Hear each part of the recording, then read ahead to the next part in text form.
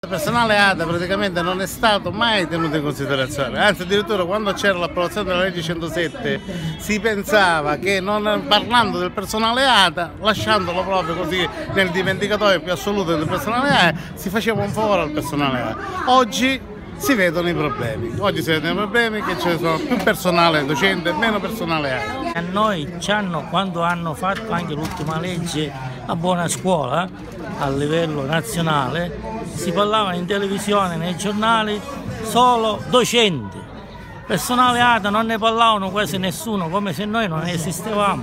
Ci sentiamo anche bistrattati anche come stipendi, perché noi in confronto a loro prendiamo uno stipendio da fame. Ma una cosa che non dice nessuno, che su questa riforma non sono menzionati gli studenti, che è la cosa più grave, è la cosa più grave.